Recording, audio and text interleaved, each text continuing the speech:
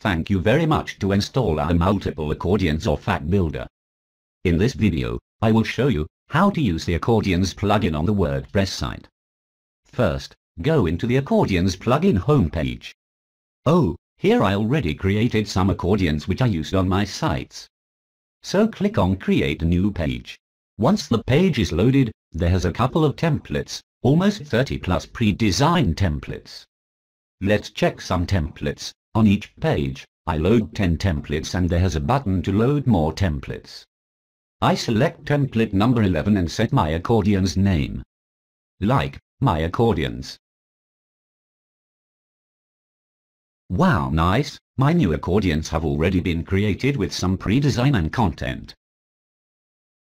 New accordions shortcode created and can use on my site. Before customization or editing, I would show my pre-built accordions in my post. Copy shortcode to use into post or page. I add my accordions shortcode into my demo post. Once update my page it's visible as post content.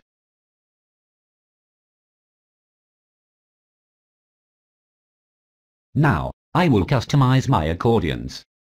At first, I will add new content into my accordions. Click into accordions from data button. Once the modal form opens you can set as like as you want to add content. Like, I paste some text as the title. You can add subtitle as subtitle will render under title.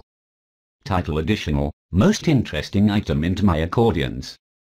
I can add several components as title additional like icon, number, or image. You can customize title additional component at the editing panel. I add multiple options to make it easier for users.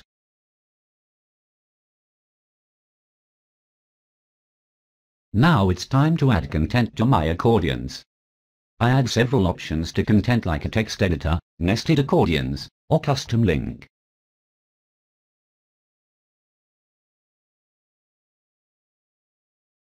I add some dummy content from my website. You can select nested accordions from the select list. Also, custom link as you want to load after clicking into that content.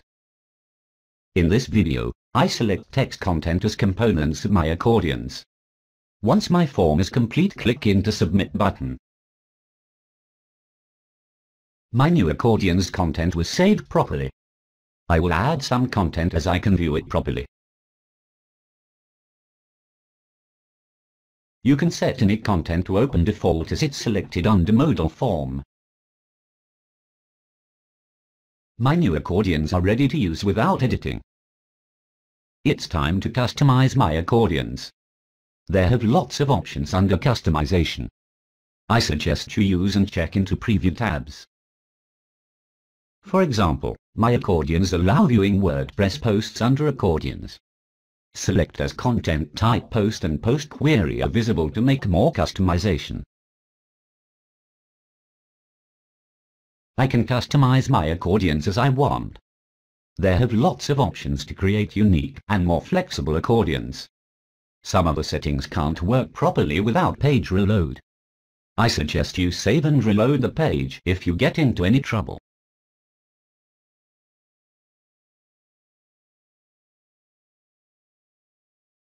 Finally, if you need any customization as you don't understand kindly contact me via Oxilab or comment at the WordPress forum. I tried to support my best about my accordions. Thank you.